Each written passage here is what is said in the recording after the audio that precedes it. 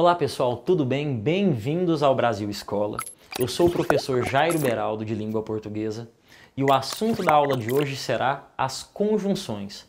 Mas antes, não se esqueça de seguir o nosso canal, de curtir o vídeo, de clicar no sininho para que você receba as informações sobre os novos vídeos que estarão aqui no nosso canal.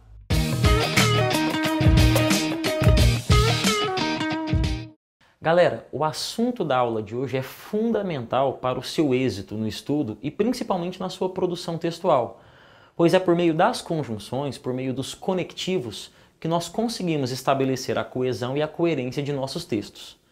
Mas primeiro, Jairo, o que são as conjunções? Como eu poderia definir uma conjunção? Uma conjunção é uma classe de palavras invariável cuja finalidade é ligar termos ou orações coordenadas entre si, ou ainda ligar uma oração subordinada à sua oração principal. Então observem que quando nós pensamos nessa classe gramatical em específico, nós estamos falando de uma classe conectiva. A finalidade dela é ligar. Mas especificamente ligar orações coordenadas e subordinadas, ou mesmo termos de mesma função sintática, os termos chamados de termos coordenados. Tentemos visualizar então essas três finalidades das conjunções. Finalidade 1: ligar termos de mesma função sintática, os chamados termos coordenados. Quando eu digo a vocês que João e Antônio viajaram, notem que entre João e Antônio nós temos a conjunção aditiva e. Se nós fazemos a análise sintática dessa estrutura, João e Antônio formam um sujeito composto, sendo que João e Antônio são os núcleos do sujeito. Notem que a conjunção e está ligando dois termos idênticos, dois termos de mesma função sintática. Consequentemente, trata-se de uma conjunção coordenativa. Segunda função. As conjunções podem ligar orações coordenadas entre si. Quando eu digo, por exemplo, que João estudou, mas não passou, o mas, conjunção coordenativa, liga duas orações coordenadas, estabelecendo entre elas uma relação de adversidade, uma relação de quebra de expectativa, de oposição. Terceira função. Uma conjunção ela pode ligar uma oração subordinada a uma oração principal. Quando eu digo eu quero que vocês passem, observem que a conjunção que, a conjunção subordinativa que, ela liga a oração subordinada, que vocês passem, à oração principal, eu quero. Jairo, explique melhor como funciona essa relação de, cor, de subordinação. Quando eu digo eu quero que vocês passem, o eu é sujeito da primeira oração, o quero é um verbo transitivo direto. Quem quer, quer algo. Que vocês passem é uma oração que funciona como objeto direto da oração anterior, ou seja, ela atua como um termo da oração anterior, ela está subordinada à oração anterior. Consequentemente, eu quero oração principal, que vocês passem oração subordinada. Então vejam bem, galera. Nós percebemos que há duas finalidades, né?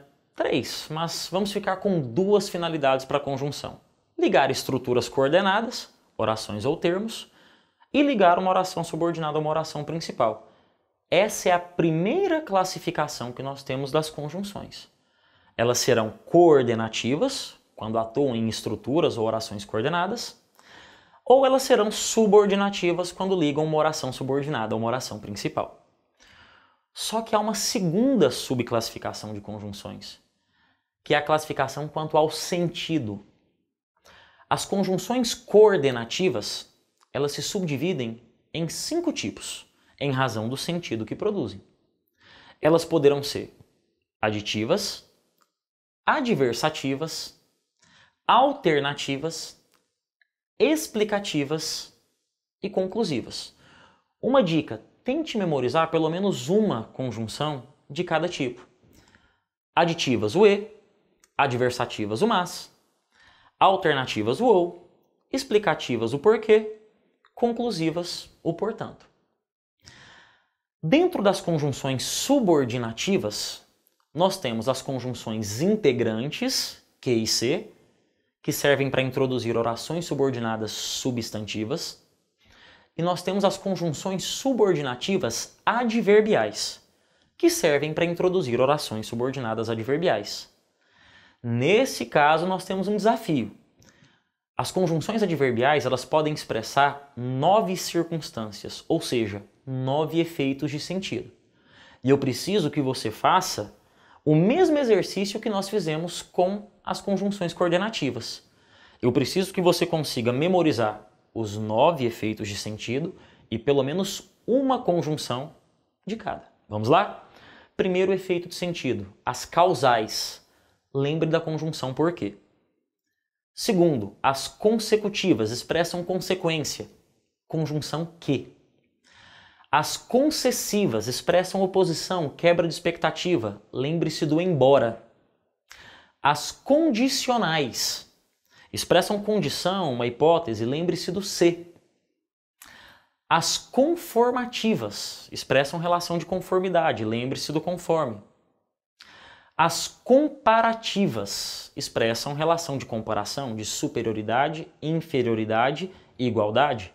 Lembre-se do assim como, do mais que, do menos que. As temporais, como o próprio nome indica, expressam relação de tempo. Lembre-se do quando. As proporcionais, né, expressa relação de proporção. Lembre-se do à medida que, do à proporção que. E as finais, que expressam finalidade. Lembre-se do para que e do a fim de que. Lembrando que esse afim da finalidade é separado, ele não se grafa junto. Ok? Pessoal, espero que tenham gostado da nossa aula. Se gostaram, deixe seu like, compartilhe com seus amigos, nos ajudem a divulgar esse conteúdo e fique sempre atento, acompanhe a Sirene para que nós possamos acompanhar os próximos vídeos, né? todo aquele material que será disponibilizado aqui para vocês. Um abraço!